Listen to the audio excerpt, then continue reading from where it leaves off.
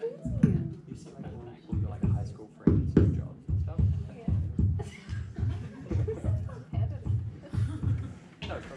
evening, everybody, and thank you so much um, for coming in this Friday evening. Um, and thank you especially to those who were also here last night. Uh, we, we, we take that very well. Um, so it's my, it's my pleasure um, as uh, the program leader of BMA Contemporary Art Theory uh, to, to welcome you guys here, especially if you are on the course and especially if you are coming in especially for this evening's edition of the Living Extinctions series. I'm aware that I'm a bit squeaky. Is it really annoying sound wise? Shall I just move this back? I'm gonna shut Are we the door too. Yeah. How's this? If I just like one, two, one, two, are we good? That's, a, that's an up. Excellent. Thank you, audience. Um, right.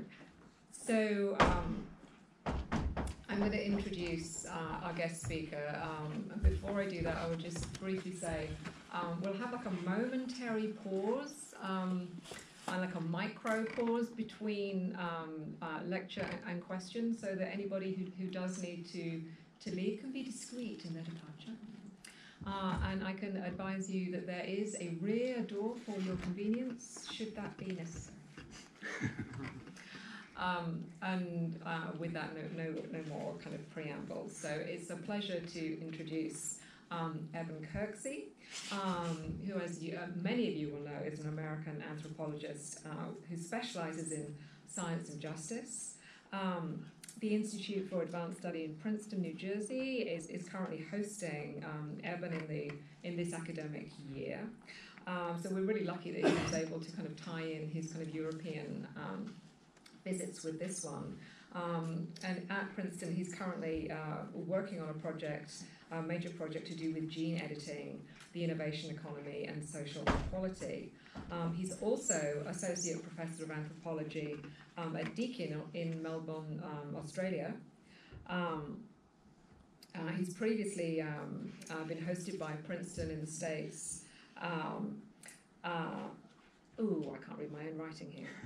Um, as the 25th, oh, it's, a long American title, that's what's thrown me. We, we, we just don't do this in the UK. You're either like a doctor or professor. No one gets the, like a, a named title. But here we go with the 2015 2016 Currie C. and Thomas A. Barron visiting professorship. Um, and he's previously, previously served as the, um, as the convener of the Environmental Humanities kind of um, program at the University of New South Wales um, in Australia, which is, has been a, a source of um, a huge amount of really important work in the last um, kind of decade or so. Um, of his major publications, um, I'll just name the three books uh, and one article that I know some of you here will have read. Um, of the books, there's uh, Freedom in Entangled Worlds, West Papua, and the Architecture of Global Power from 2012. There is, and this is where I first encountered Eben's work, uh, Multi Species Salon, uh, an edited collection from 2014, uh, and there's also Emergent Ecologies from 2015.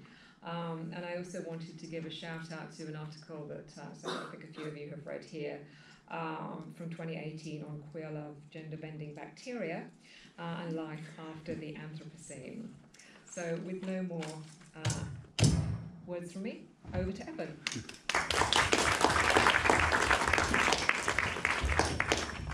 So, so interestingly, that last article that, that Lynn mentioned was, was created here at Goldsmith. So I was here a few years ago uh, with Rosi Braidotti and Matthew Fuller, and we were thinking about the possibilities of life after the Anthropocene.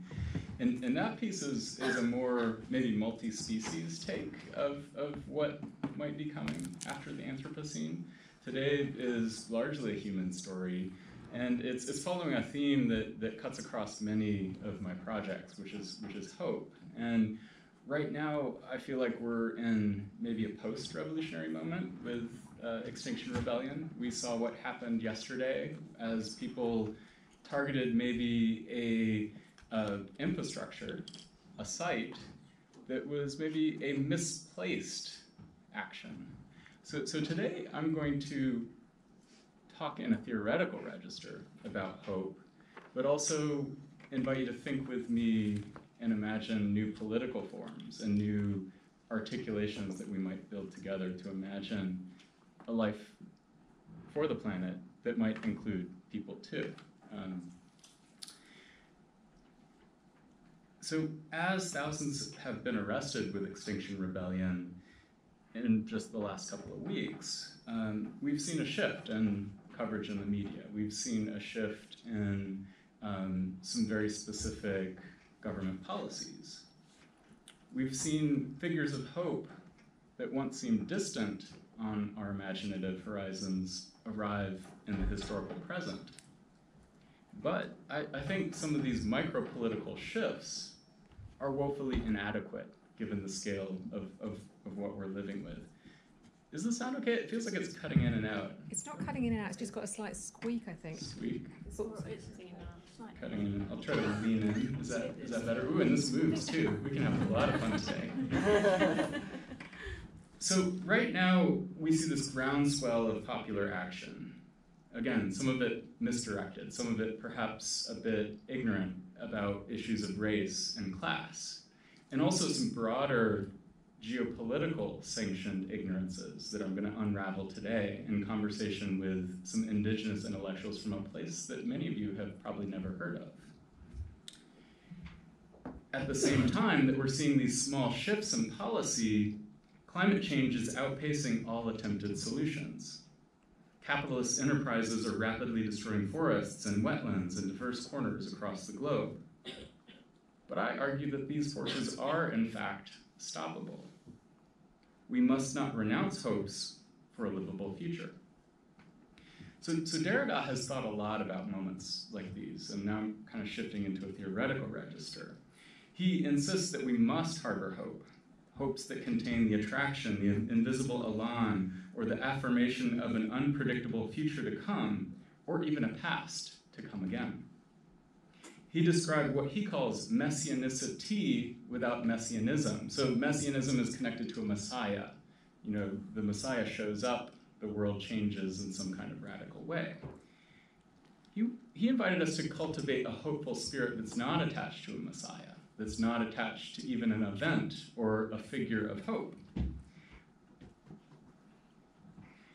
If hope does not have an object, Derrida reasons, it cannot be taken apart.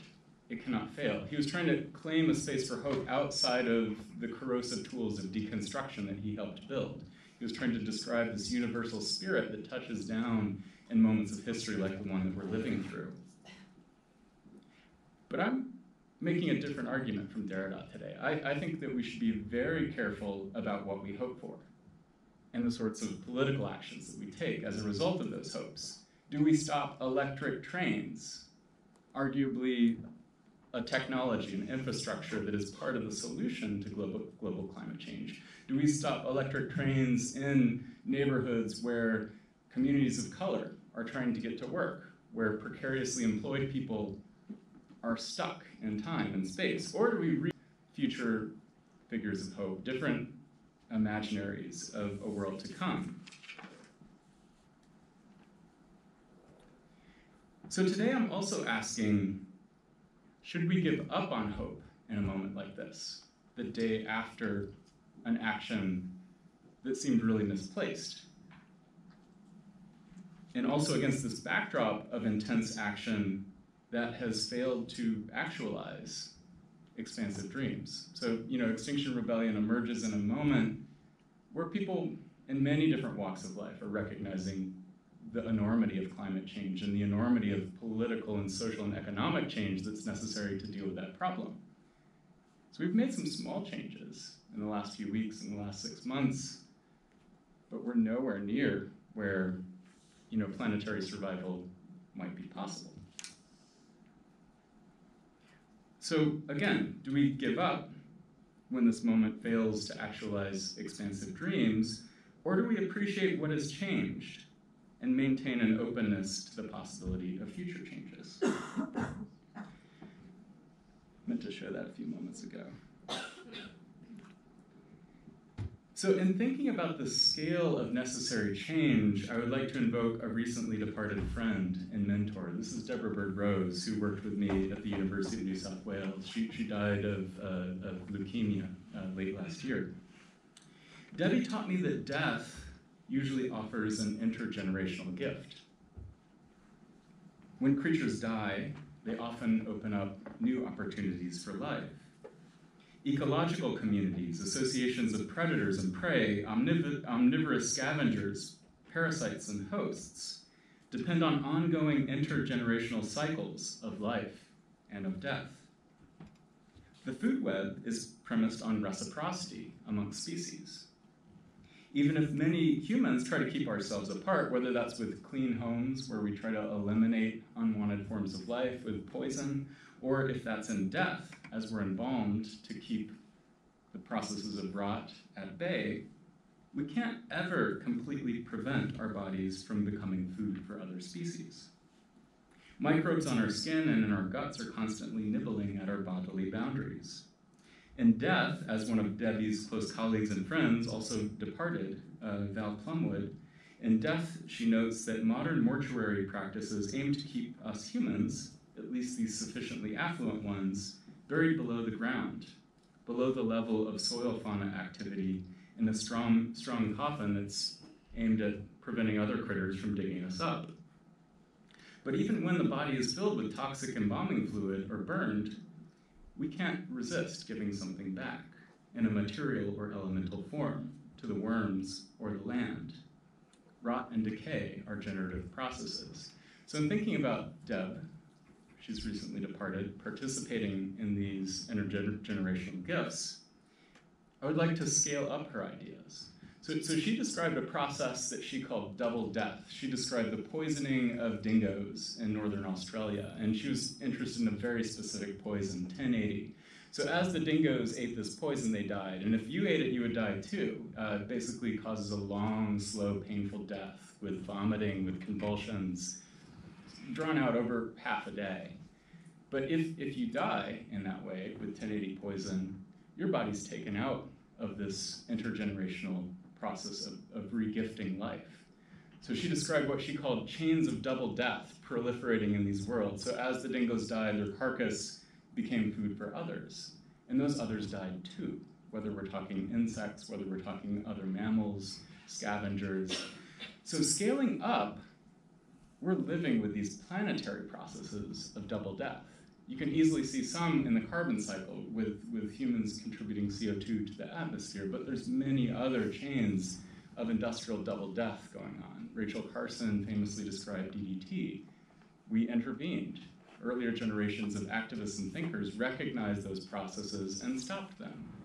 And now it's our time to grapple with these other cycles of double death and do the work of detourment, rerouting them, creating that possibility for ongoing intergenerational gifts rather than a planetary process of double death, where death redoubles upon itself.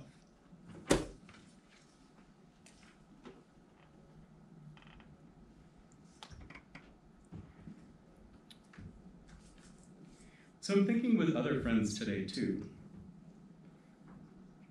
Thom van Dooren has, has written about uh, the unloved others in con- conversation with Deb um, uh, about those who are, are disregarded in times of extinctions.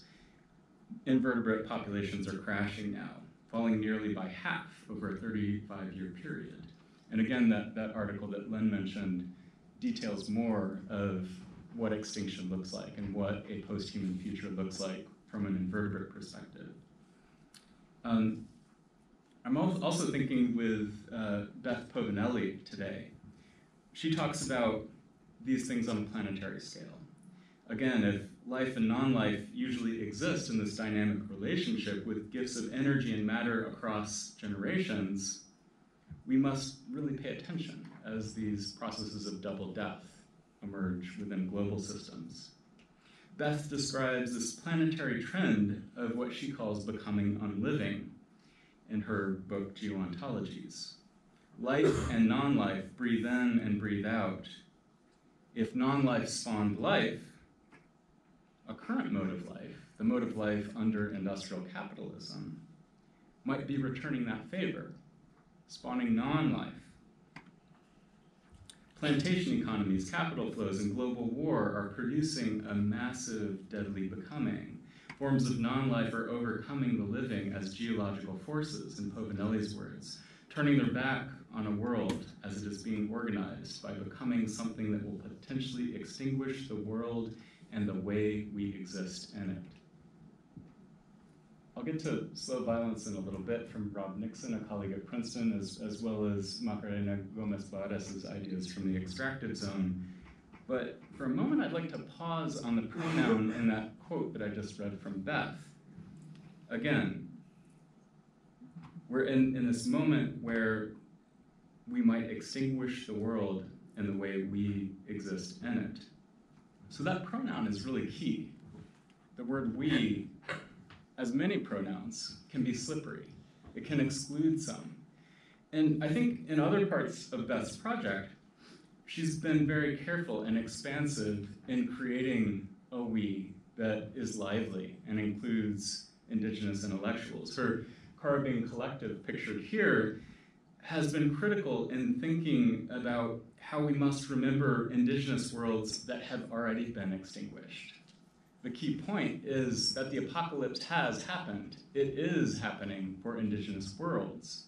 And in imagining a future white precarity, we must think with those whose worlds are already extinguished, those whose worlds are extinguishing even as we speak here today.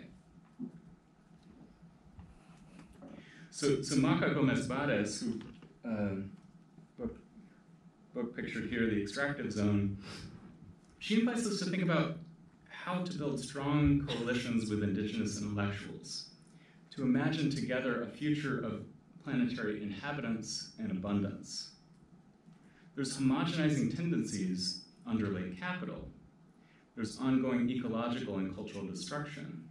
And right now, imaginative labor in coalition with indigenous peoples is more urgent than ever. So I'd also like to push pause here and invite you to pause and think about the word that's wiggling within Anthropocene, anthropos. So in the same way that I want you to think critically about pronouns, who they include, who they exclude, I want you to think about who is included and excluded by anthropos, about the ethical and reasoning figure that Enlightenment Europeans conjured as their inheritance from ancient Greece. That's, that's where anthropos comes from. And this idea has always excluded certain kinds of people.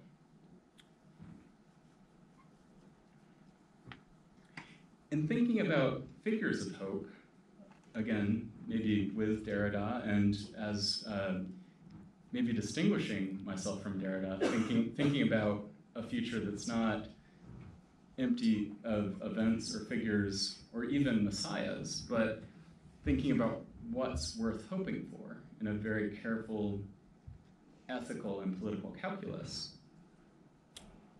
I think we should be dreaming about possible, possible futures in collaboration with others who have never fully enjoyed the legal and political privileges of being regarded as a member of this community, as part of Anthropos.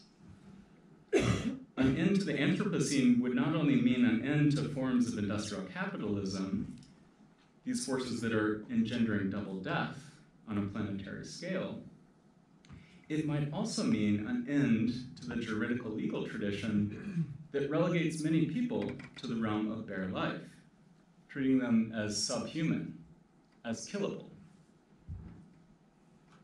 So I want you to meet Filep Karma. He's, he's a friend and mentor. He's an indigenous activist from West Papua and an intellectual who was sentenced to uh, 15 years in prison for raising the flag.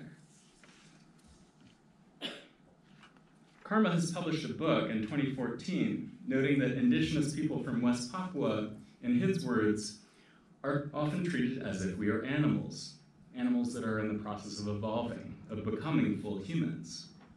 Often Papuans are called monkey, he notes.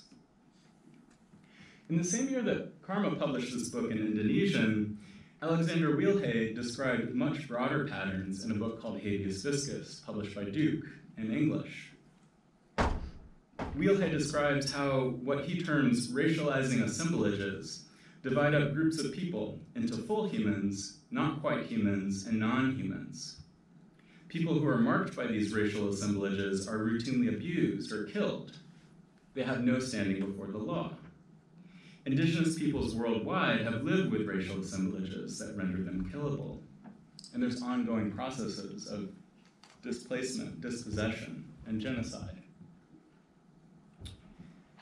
So Filep Karma is from here, from Biak. Uh, it's a low-lying island off the north coast of West Papua, arguably one of the places that is going to experience sea, sea level rise and, and, and uh, the impacts of climate change well before the rest of us.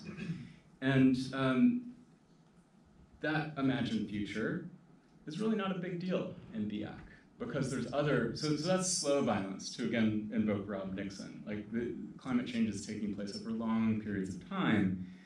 Uh, but what's happening in, in West Papua right now is actual real violence. Um, so, so two weeks ago, there was uh, a high school teacher in the highlands of West Papua, an Indonesian teacher. So just a quick geography lesson. You've, you've, probably heard of East Timor got independence in 1999. This is Australia. This is the Indonesian archipelago. The capital is Jakarta. Those, Indonesia has a whole bunch of islands. West Papua is the biggest one. Um, so two weeks ago, an Indonesian teacher, and um, Indonesians have lighter skin, straight hair. Uh, Papuans have darker skin, curly hair. A school teacher called a bunch of high school kids monkeys, and the students protested in the street. Hundreds, if not thousands, took to the street. Uh, the soldiers showed up and they started shooting. And 20 students, 20 high school kids, were shot dead. So these kinds of sanctioned social, social like, who, who had actually heard of that story? Who knew that that happened? So I'd say 5% of people here know about this genocide that's, that's happening right now. Um, so, so there's lots of stories like this, but today I'm going to try to fill in some of this history that isn't widely, widely known. So West Papua declared independence on December 1st, 1961, and uh, three weeks later, the Indonesian military invaded. Papuan leaders were trying to get independence from the Dutch. Uh, this is formerly called Netherlands New Guinea, um, but Indonesia invaded and forced, they forestalled those, those freedom dreams. Um, I first visited West Papua in 1998. I was a exchange student at the local university, and within two weeks of my arrival, it, it just so happened I was there during a time of intense political organizing. Uh, the campus where I was a student had a small protest, and I was on the sidelines of the protest. Uh, a flag was there, um, some chants were happening, but really low key. I saw a group of cops go by and saw their heads turn and notice that there was a protest happening. Um, a few moments later, I was running, and everybody was running. I ended up in a coffee shop along with some professors, and uh, we just carried on our conversation. It, it seemed like a carnivalesque scene, a little bit of fun we were all caught up in. Uh, then some popping noises started, and we said that it must be fireworks, continuing our conversation. But then there was a large explosion right outside of the coffee shop, and we dove under the table and, and hid for about a half an hour. Uh, when, when I exited, I learned that uh, two students had been shot. Uh, Stefan Sripatia, a law student who was 21 years old, was shot in the head and killed. There was a middle school girl on the sidelines. Uh, she was shot in the leg, uh, lived, but still has difficulty walking. So I actually left. Uh, I left the university so that, that incident I described right there happened in the capital city, uh, Jayapura. And I was trying to get to the uh, sort of the uh, River, which you can see right down there. I was working on an honors thesis about multi-species worlds, shall we say.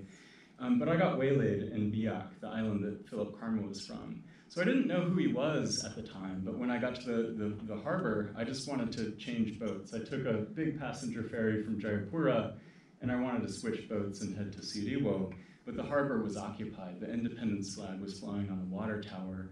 Filep Karma had assembled a group of indigenous peoples um, who were doing nonviolent civil disobedience. They had raised the Morning Star flag for the first time in 40 years and had reached a standoff with security forces. They, they were there uh, for three days. Uh, local military commanders, civilian officials came to talk with them, trying to convince them to leave, but they, they said that they would stay, that they would uh, wait for um, a proper political dialogue.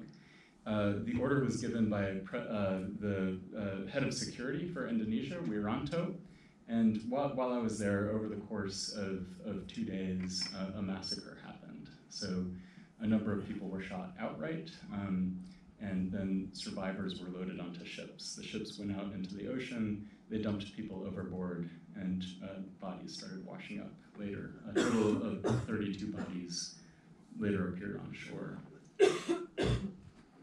so right after that happened, I did do my honors thesis. I, I went to an indigenous village in, in the highlands of, of West Papua and uh, uh, studied multi-species worlds. I um, ended up writing about the political violence. I wrote a PhD later in a book, but in this moment I was interested in other stories. Um, along with Melanie and Agatha, pictured here, I, I learned um, about spaces of autonomy and freedom that might persist against the backdrop of an ongoing genocide. They, they lived by the side of the road. A, a, a logging company had just come in, clear cutting part of the rainforest, but also opening up new ecological possibilities. So, so they were teaching me how to forage for food on the margins of market economies and the ruins of recently logged forest. They showed me how to exploit opportunities in emergent ecological communities. They also taught, taught me how to find fleeting moments of happiness while collecting edible insects. Um, so these are some, some of the insects that I've written about. Uh, I basically uh, finally published my honors thesis, yay. um, so this came out in uh, uh, South Atlantic Quarterly, I think two years ago now. Um, so, so, you can read about this story um, and a little bit about what I was just saying about um, the limits of the modern human in a juridical, legal, and theoretical register. So um, basically, along this road, lots of indigenous boys have been shot. And part of the pattern that I've described in West Papua is an ongoing uh, situation of total impunity. So, so this is a place where those racializing assemblages mark certain kinds of people as killable. If you're an Indonesian soldier in West Papua, you kill a young black boy, and nothing happens. I've, I've seen, I've been watching this for more than 20 years, and the, the people who were just shot dead two weeks ago will not, will not see justice. Um, this, this piece also tells a story of that fragile bubble of hope that I just described along the side of the road imploding.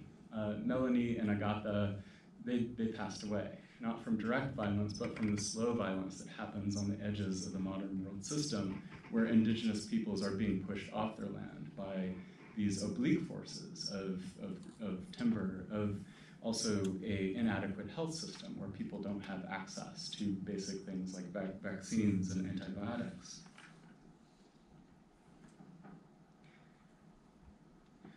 So again, what I was trying to gesture to just there is the limits of anthropos.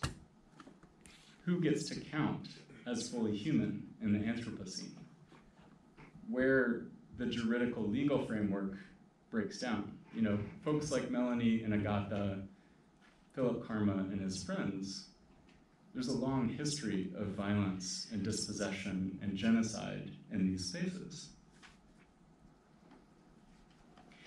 Turning away from these constructions of anthropos, again, that ethical and reasoning figure that is endangering planetary ecologies, I would like to bring you to another space of hope and speculation here in England. So shortly after I witnessed that massacre, a company that had paid uh, reportedly 100 million pounds to rebrand itself as Beyond Petroleum invited me to a gathering here in London. At the time, I was a student at Oxford, I was a Marshall Scholar, and I was working as an activist in collaboration with Amnesty International and a bunch of smaller NGOs you probably haven't heard of. Uh, one is called TAPOL, the Indonesian Human Rights Campaign, another is called Down to Earth. So they were invited too, alongside, um, you know, we, us crusty activists were there along with investors, journalists, policymakers, and other people defined as stakeholders.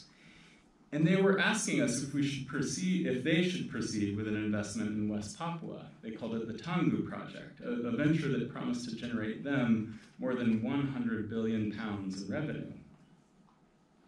BP was uh, prophesizing of growth in the wealth for their shareholders, alongside benefits for indi- indigenous people.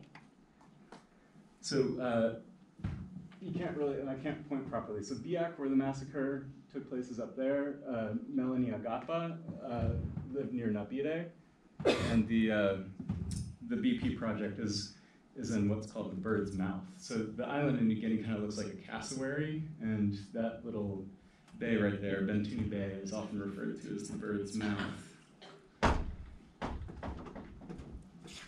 So with this Tangguh project, BP promised again to improve the livelihoods of villagers, to bring development funds to West Papua, to bring tax revenue to Indonesia. Um, but at the same time, they were telling these tales in a speculative register, um, pointing to promising futures. The situation on the ground looked a little different. There were tales about these subterranean gas fields in this area, Bintuni Bay, and they'd been proliferating since 1996 when an American company called ARCO began exploratory drilling. Basically, as the drilling was taking place, a bunch of babies died. And uh, the company tried to uh, say it didn't involve them, that it was a measles outbreak, but um, you know there, there were ideas on the ground that this was from some of the bubbling up of gas that was in, in the environment. Um, at any rate, the company failed to intervene. These, these children died. Um, I believe, so 48 children in total.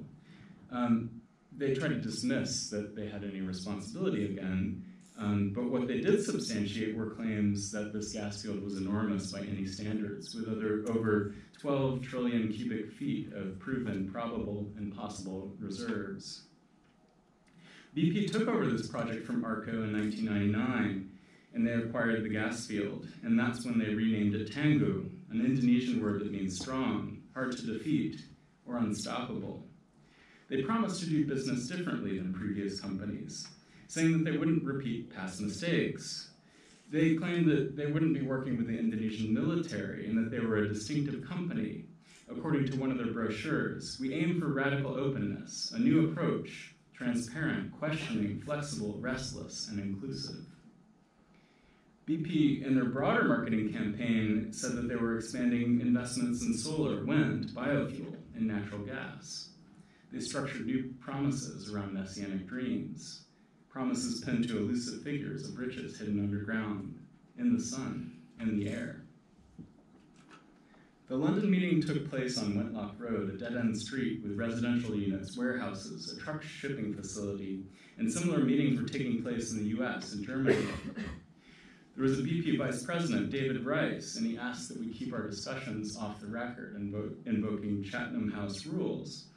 Um, but I noticed there was a recording microphone, an omnidirectional microphone on every table. So I uh, quietly started taking my own notes. I didn't start a recorder, but uh, you know they were saying, that we couldn't repeat what was said in the room, but they were actively recording our conversation. So I started taking notes and later published on it.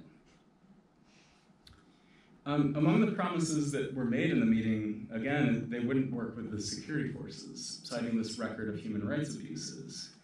At the end, after they served us uh, uh, uh, uh some fancy, fancy food and drink, um, they asked us some questions. Is BP doing enough? How do we progress? Should we go ahead with the project?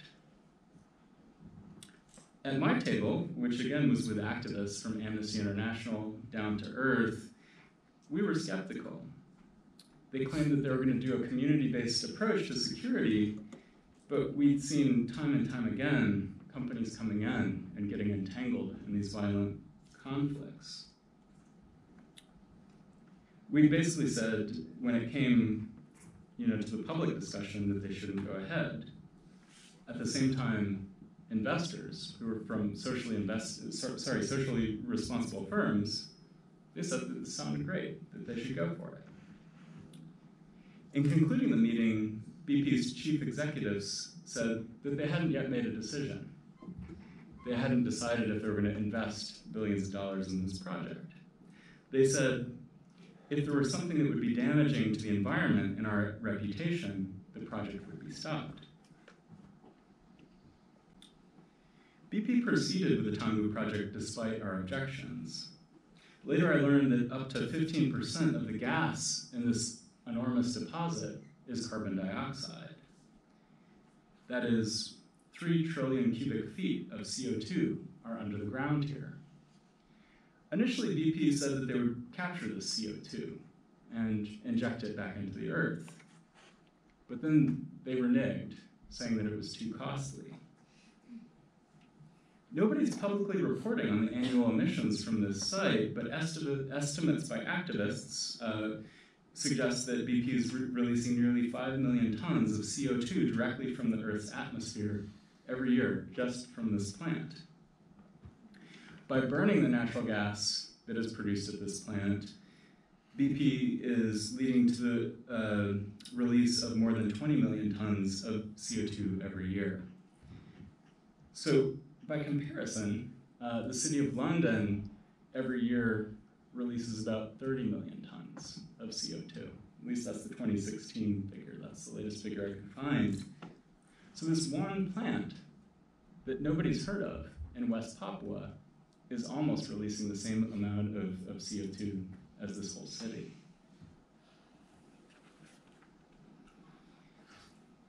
At the same time, the proceeds from the BP facility were funding the Indonesian military occupation of West Papua. These are the political and economic relations that this site figures within. In 2018, BP paid 986 million in tax revenue to the Republic of Indonesia. BP began training, training their own community-based security forces, but this was under the command of Brigadier General Haryanto, who had just left the Marines to start a private security firm. BP began using officers from Indonesia's feared Mobile Police Brigade, or BRIMOB. This is a brigade that had been implicated in numerous human rights abuses. BRIMOB police launched Operation Sweep and Crush, that's their name, not mine, near the BP base camp in 2003 they executed and tortured to death at least eight people. And one of those people is in those plastic bags. So a 32-year-old man uh, named William Korwam, who was a, a, community health worker, he worked in the local clinic, uh, was, was executed and cut up and put into those bags, which resurfaced a few days later. Um, I'm sparing you some pictures that are truly horrific the, the, the worst, very worst crimes of, uh, against humanity that I personally have seen. I've, I've put them formally within the U.S. congressional record. They're also not published in my book, but if, if you want to read about them, I've described them with words.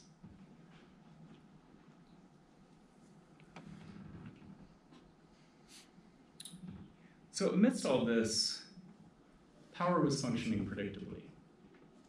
Up through April 10th, 2010. On that day, the Deepwater Horizon explosion happened in the Gulf of Mexico, leading to one of the world's largest environmental disasters. I'm just going to show some images.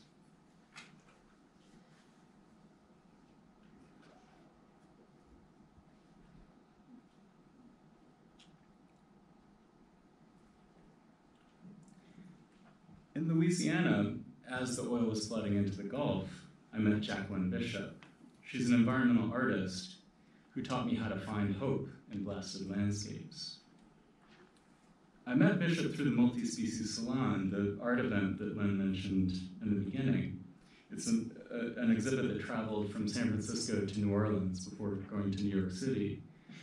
During a studio visit, Bishop showed me Trespass, an assemblage of flotsam and jetsam, baby shoes, birds' nests, toys, balls of twine. She created this five years earlier, an uncanny illustration of disasters looming on future horizons. She, she actually created this not only before the Deepwater Horizon explosion, but a few months before Hurricane Katrina. So I kind of read it as this uncanny premonition of disasters that she saw in the near future. Trespass is coated in a dark glossy finish. It shimmers like crude oil.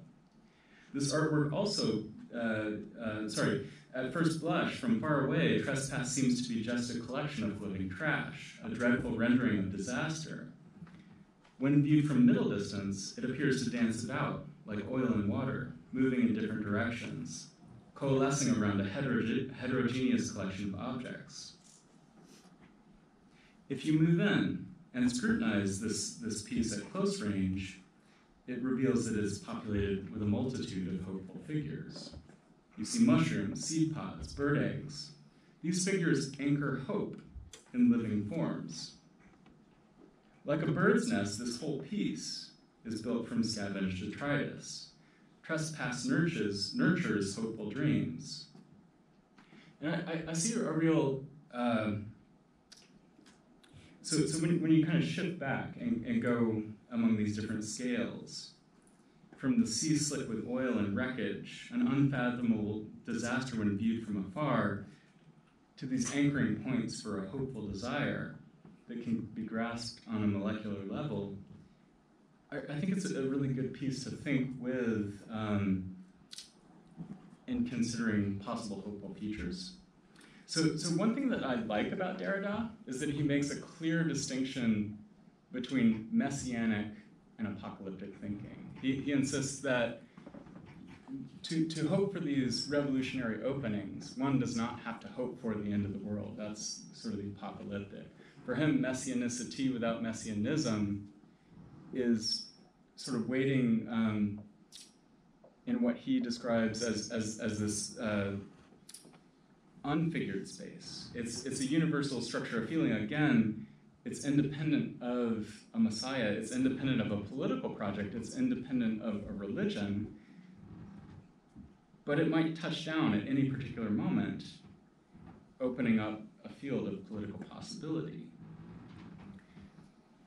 But Derrida, in his work, again, doesn't connect hopes to something specific. It's, it's, it's hoping for the unfigurable, the thing that is totally unexpected. He, he, he says that that's, that's where the revolutionary possibilities emerge. And, and I think when you don't hope for something specific, you get things like what happened yesterday, where your hopes land on something that's not well thought out, a, an action that, that, you know, like, who knows what's going to happen outside of this room, but you, you could see a moment like yesterday kind of killing that social movement. It, it could implode. Um, so, in thinking with indigenous, intellectuals from West Papua and artists like Jackie Bishop, I, I think it's very important to, to think clearly about very specific figures of hope. And figure is also a technical term as I'm using it today. A figure might be regarded as a fashioning, a resemblance, a shape, also a chimerical vision. This is Donna Haraway reading Nathaniel Bailey's Dictionarium Britannicum from 1730. To figure, Haraway reminds us, also means to have a role in a story. And in Trespass, I found this cautious messianic spirit searching through the refuse, coalescing around specific figures, then dancing away along other lines of flight. So Jackie knew what to do when the oil showed up in 2010. As many people sort of wallowed in the disaster, she rushed to the front lines. Um, she found that she couldn't care for those birds that the, F, the uh, US federal government had very specific protocol for caring for mammals, for caring for birds, but certain kinds of life were falling through the cracks, cracks outside of the imaginary of what is worthy for care. Again, if you go back to Agamben, there's this distinction between bare life, Zoe, and the life of bios, the life that has biography, that can have a biopolitical life. So these are hermit crabs. They were being shoveled by the BP cleanup crews into trash bags and thrown away in landfills. Jackie started using the skills that she developed as an artist to put oil onto canvas to work with Q-tips to take oil off these living creatures. She did a very simple intervention. She had Dr. Bronner's soap, she had water. Along the way, it, nobody kind of come up with a recipe for this. She kind of figured it out on her own in collaboration with, with a ranger named Leanne Sarko they basically helped about 10,000 hermit crabs that otherwise would have been discarded as, as refuse amidst this disaster. as Jackie Bishop was doing that care work, other artists took to the streets. Uh, the crew of Dead Pelicans formed out of a Facebook event page. You had thousands of people taking to the streets doing what they called a jazz funeral for the Gulf. In New Orleans, there are these vibrant traditions that celebrate death. They were celebrating and mourning the loss of this ecosystem. Others had more direct messages. A, a competing protest group uh, that banded around the slogan, fuck BP, also started emerging in the streets.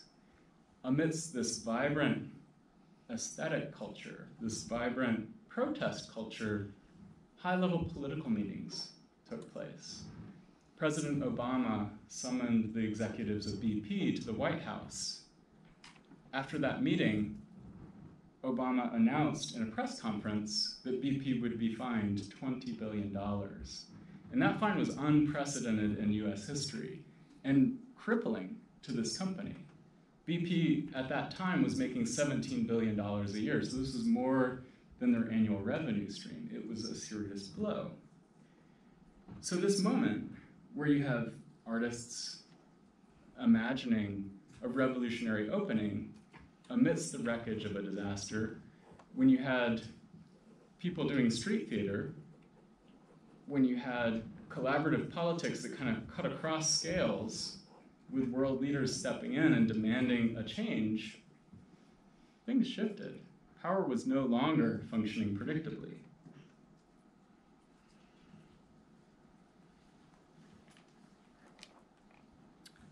For me, it remains to be unseen, or sorry, it remains to be seen if Anthropos is a tragic and myopic figure.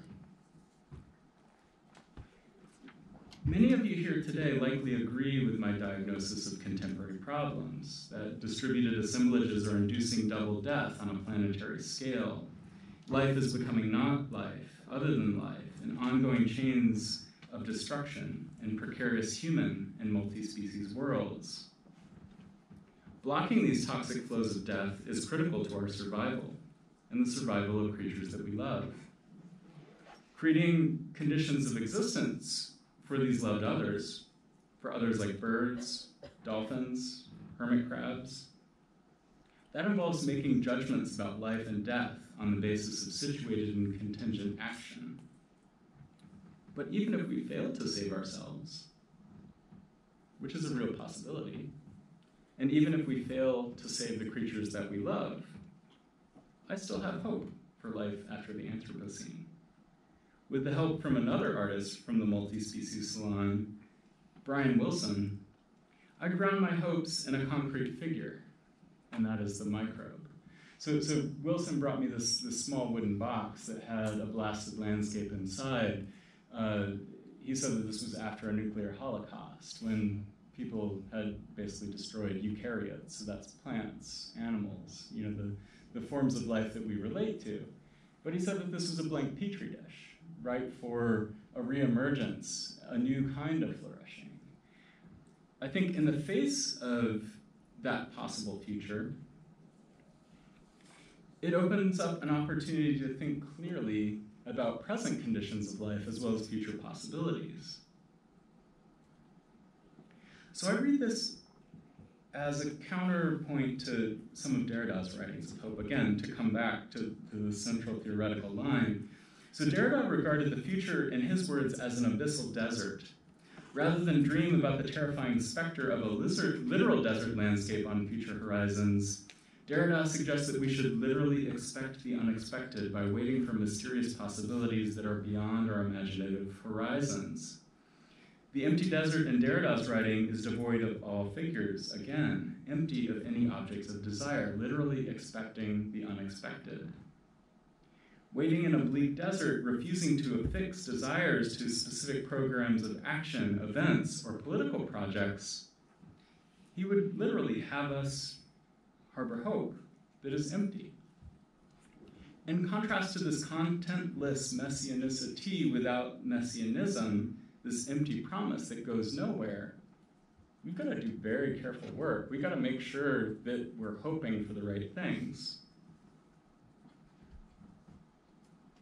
So the multi species salon, we found a hopeful spirit playing at the limits of our imaginative horizons, moving like oil and water, searching for figures around which movements might coalesce. Working with artists, we found prefigurations of livable futures. And we also looked at how people are often quick to refigure hope in moments like this, and moments when hope fails. So, against backdrops of potentially bleak futures imagined by Brian Wilson, we found hopes being grounded by people and living beings and other agents already in our mix.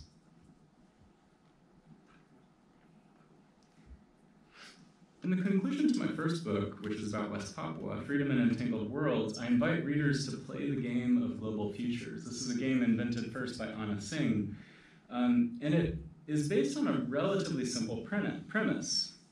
Singh argues unexpected connections make new things come into being, new technologies, new economies, new identities, and political visions. Futures of all sorts are forged in the contingencies of strange connections.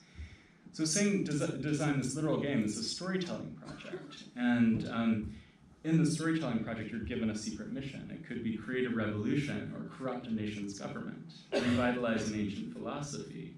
And in my book, I, I gave readers an alternate figure to think with about their, their, their visions um, and, and, their missions. I, I suggested that uh, you think about taking over the tube. And in thinking about the tube, I'm both thinking about the specific infrastructure that channels natural gas around. I'm thinking about the pipelines that channel oil and other petroleum products around countries like the United States and Britain.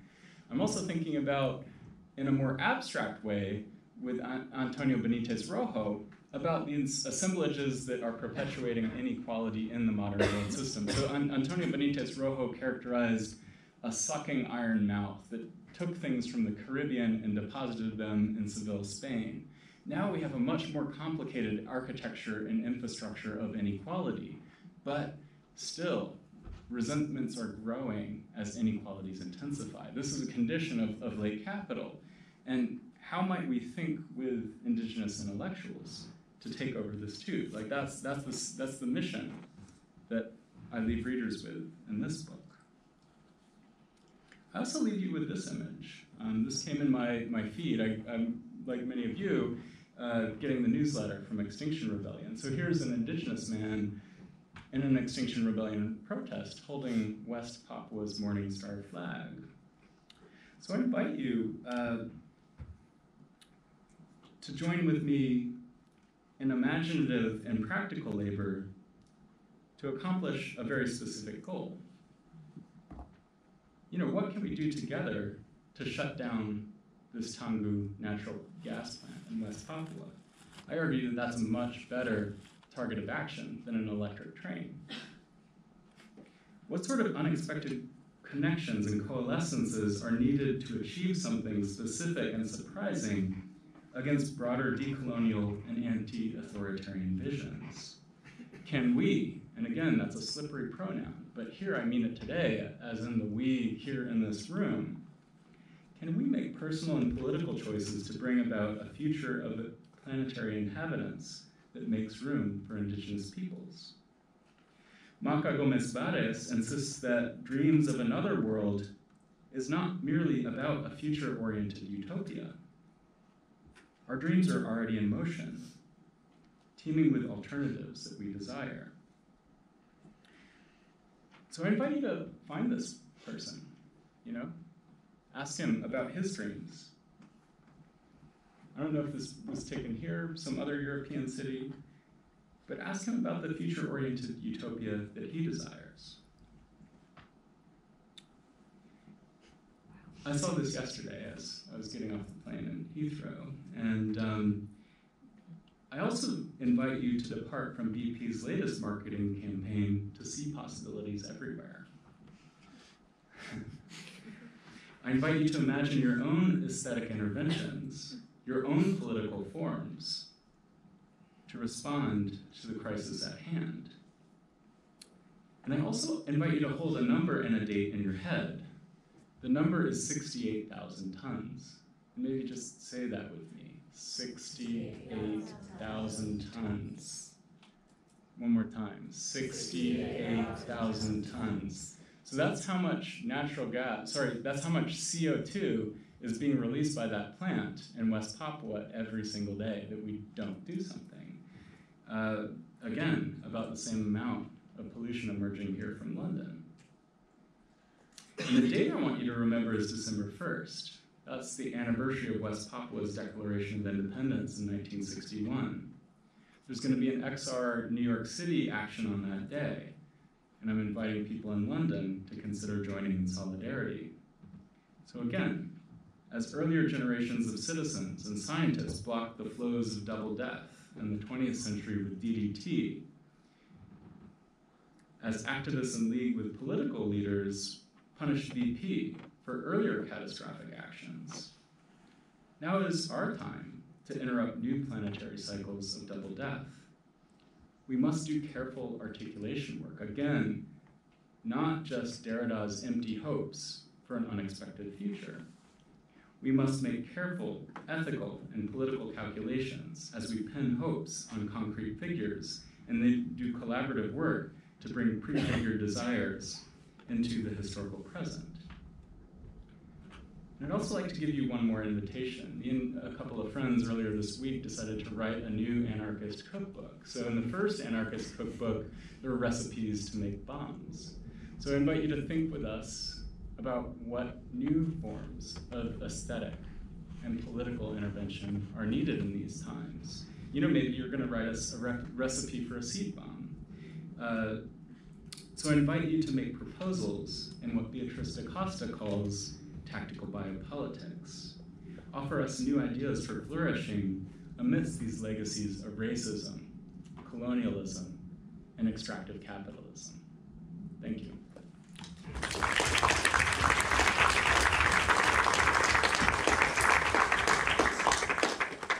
Thanks, Eben. Um, micro, micro break.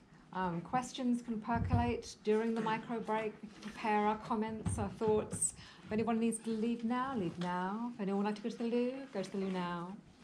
Um, so a couple of minutes and we will resume with our, our roving microphone.